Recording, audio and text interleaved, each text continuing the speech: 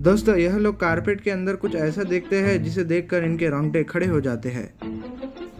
इन लोगों को कारपेट के अंदर कुछ होने का एहसास होता है तो यह लोग उसके पास जाते हैं तो उसकी हलचल बढ़ जाती है।